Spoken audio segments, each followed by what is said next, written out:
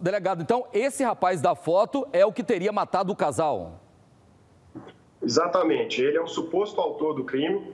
É, o nome dele é Vanderlei dos Reis Santana, ele tem 24 anos e ele é apontado é, pelas principais testemunhas em, em diversos depoimentos é, de ser o homem que já vinha ameaçando a família, o casal, e de ser o homem visto também no momento dos disparos. Então, é, a partir do momento em que identificamos que, quem seria o autor dos disparos, e inclusive é, eu quero parabenizar a equipe do GIH de Tumbiara, que em menos de 48 horas conseguiu elucidar a autoria desse crime bárbaro.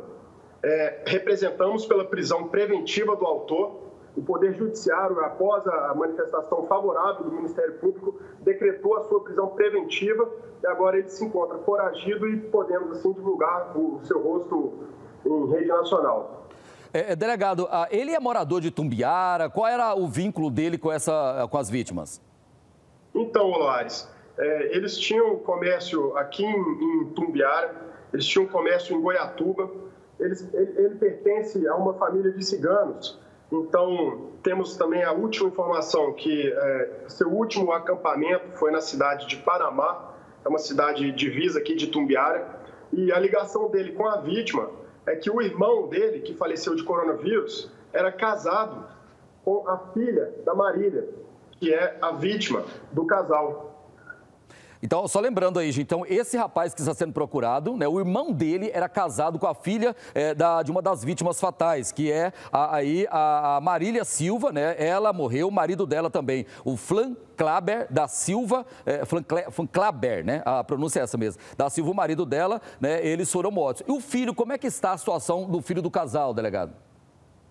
Então, Lares, a situação dele se encontra estável. Ele passou por cirurgia no Hugo, em Goiânia é, enviamos uma equipe da Polícia Civil da capital, inclusive queria agradecer o apoio do, da DIH, Delegacia de Investigação de Homicídios, que deslocou sua equipe até lá, pôde ter contato com o jovem rapaz e, e foi imprescindível para o deslinde da, da, nossa investigação e para o reconhecimento da autoria. Mas ele se encontra é, em, em, bom estado, não corre qualquer tipo de risco de vida, realizou uma, uma operação no fêmur, porque os dois tiros fraturou a sua perna, né? Mas está bem.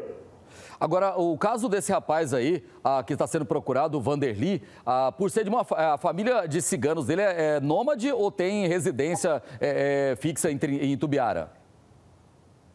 Então, Lares, é, eles possuem residência fixa em Goiatuba. Todavia, eles tinham é, um comércio de, de carros aqui na cidade e também em Goiatuba. Então, eles viviam tanto lá quanto aqui.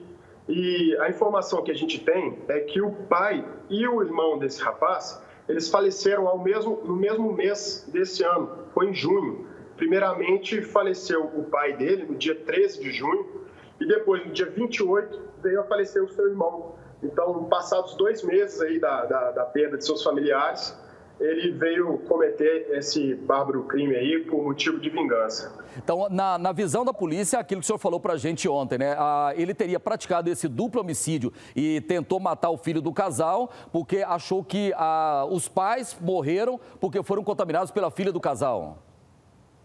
Exatamente, Loares. É, já no, no local de crime, a gente já conseguiu colher essa motivação.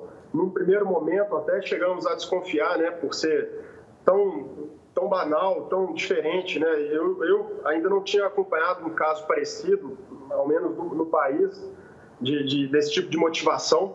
Normalmente um crime desse é, é cometido por é, é, dívida, conflitos familiares, traição, tráfico de drogas, mas nesse caso, por incrível que pareça, a motivação ela foi se confirmando ao longo da investigação que continua.